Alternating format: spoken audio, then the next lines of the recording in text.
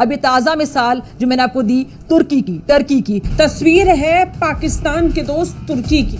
तुर्की की संसद की ये तस्वीर इस समय पूरी दुनिया में चर्चा का विषय है। कोई भी मुल्क का नहीं सोचता, रियासत का नहीं सोचता, अवाम की मुश्किलात का नहीं सोचता, मुल्क के इमेज सालमियत का नहीं सोचता। ये सब मैं ये अपनी तरफ़ से बात नहीं कर रही हूँ।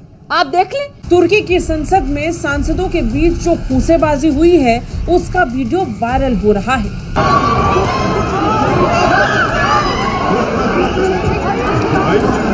के नारे पार्लियामेंट के मुकदस ईमान में लगाए जा रहे हैं। कोई किसी को चोर कह रहा है किसी को डाकू कह रहा है कोई कह रहा है तू बड़ा डाकू है कोई कह रहा तू बड़ा चोर है। लेकिन ऐसा बहुत कम देखा गया है कि किसी संसद में सीधे लात घूसे चल गए चोर वहाँ बैठे इनके मुताबिक कोई डाकू बैठे बहुत ही गलत बात है। बहुत ही मुकदस ईमान में बैठे हुए ये ये बिस्रा की बातें करते हैं। ट्रोल करेंगे जी आप इंडिया को सराह रहे हैं आप भाई उसकी पॉलिसीज़ ऐसी हैं कि deserve respect and appreciation of their policies ये कहते हैं बड़ापन यानी पहले अपनी गलती माने ना कि मुझसे कहाँ का गलतियाँ हुई, हमसे कहाँ का कुताइयाँ हुई, हमने अवाम को कहाँ का नाराज़ नाराज़ किया, कहाँ का नालां किया फिर हम अपने गिरेबान में झांकने के बाद आगे की बात करेंगे।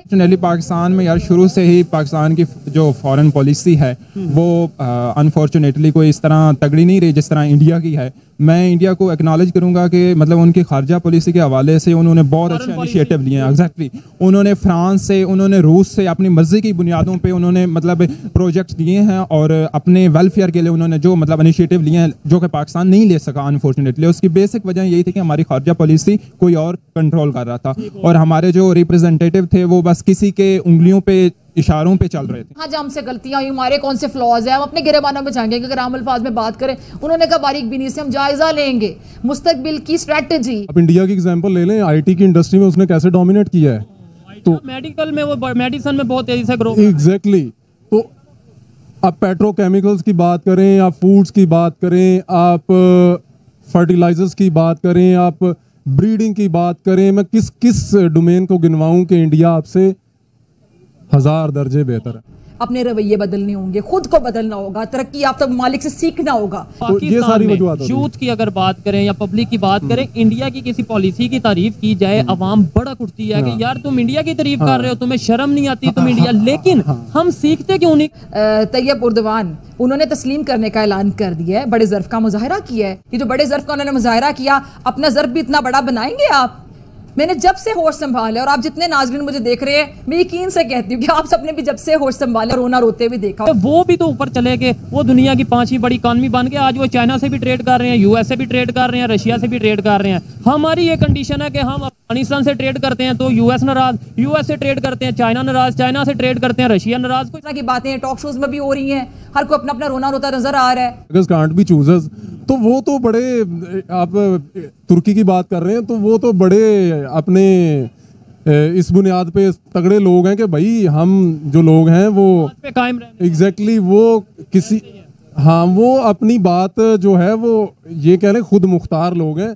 अब किसी एक रियासत का नुमाइंदा किसी बैगर्स को गले लगा के क्यों मिलेगा? अब बैगर को ज़रूरत है वो गले मिले जा और हमारी सारी जमातें जमहूरियत की बहुत बड़ी चैंपियन। जय हिंद दोस्तों दंड में आपका स्वागत है। तुर्की के संसद में एक सांसद ने खड़े होकर ऐसा बयान दे दिया कि पूरा संसद जंग के मैदान में बदल गया और सांसदों के बीच जमकर चले लात घुसे। यह मारपीट करीब 30 मिनट तक चली जिसमें खून के छींटे वीडियो फुटेज में स्पीकर के पोडियम की सीढ़ियों पर भी नज़र आए। साइड पे अगर इंडिया की बात करें वहाँ के प्राइम मिनिस्टर अगर कहीं पे जाते हैं रिसेंटली जापान का विज़िट किया रिसेंटली उन्होंने दूसरे कंट्रीज़ का ऐसे ऐसे ऑस्ट्रेलिया और ऐसे कंट्रीज़ का विज़िट किया जहाँ पे उन्हें झुक के पाँव को जो सा वो हाथ लगाया गया। तो हमेशा ऐसे करते हैं जैसे लास्ट टाइम भी मैंने किया था कोर्ट के थाली के बैंगन वाला हिसाब है कि आपकी वर्थ वो नहीं है आपकी पॉलिटिकल वर्थ वो नहीं है आपके पास कोई क्लियर एजेंडा नहीं है आपके पास किस अपनी कौम को लेके चलने का रिप्रेजेंट करने का कोई खास मकसद आपके पास नहीं है। पाकिस्तान की इस टाइम सिचुएशन की बात करें स्टेटस की बात करें इंटरनेशनल लेवल पे खास तौर पे इस्लामी कंट्रीज़ के साथ जो हमारे रिलेशन है कैसे रिलेशन नज़र आ रहे हैं? है कि इस वक्त जिसे हम कहते हैं दुखती रग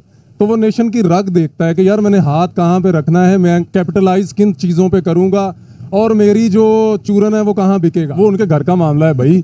वो खुद डिसाइड कर लेंगे मैंने किसको क्या देना। कोई ऐसी चीज़ बताएँ जो इस्लामी कंट्रीज़ ने डेवलप की है। कोई एक ऐसी चीज़ बताएँ जो पाकिस्तान में जिसकी प्रोडक्शन हुई है। कोई एक ऐसी चीज़ बताएँ जो हम जिस पे कैपिटलाइज करके एक्सपोर्ट करके हम कह सकते हैं कि हमने हमारी है हम इससे जोड़े जाएँ हम इससे पहचाने जाएँ। कोई एक ऐसी चीज़ बता दे मुझे। तो हमारे असल इशू से हमें हटाया गया है। हाँ, हमें हाँ। हमें ये नहीं बताया जा रहा कि भाई दुनिया डेवलपमेंट की तरफ़ जा रही है आईटी इंफ्रास्ट्रक्चर की तरफ़ जा रही है एजुकेशन की तरफ़ जा रही है। हमें ये चीज़ें नहीं बताई जा रही। तो फॉरन मिनिस्टर हो हमारे जो उनसे प्राइम मिनिस्टर हो वो इंटरनेशनल लेवल पे कहीं प्लेटफॉर्म पे जाते हैं वो रिस्पेक्ट नहीं नज़र आती। क्योंकि वो हमारी पाकिस्तान की रिस्पेक्ट है तो हमें वो नज़र नहीं आती। तो इसी तरह हमारा सीन है। हम हर चीज़ में हर जगह हर सिस्टम में इन्वॉल्व हो जाते हैं। पाकिस्तान की इज़्ज़त पूरी दुनिया में इस टाइम क्या वैल्यू है आपके ख्याल में? हमारे प्राइम मिनिस्टर की या पाकिस्तान की? यार कुछ नहीं रह गया। कोई वैल्यू नहीं नज़र आ question. Okay, आपको इंडिया से मसला है इंडिया से ना सीखो ना ही इंडिया वाले शेयर सिखाना चाहते हैं। वो तो इवन नीचे कमेंट्स में कहते हैं हाँ, कि भाई हमारे साथ कंपैरिजन ना किया। आपको बता दें कि एक विपक्षी सांसद ने तुर्की के राष्ट्रपति एर्दोगान की पार्टी को आतंकी संगठन कह दिया जिस पर एर्दोगान के सांसदों ने विपक्षी सांसदों पर हमला कर दिया। लड़ाई बढ़ती चली गई। सांसद एक दूसरे पर लात घुसे बरसाने लगे। इस घटना से जुड़ा वीडियो सोशल मीडिया पर खूब वायरल हो रहा है।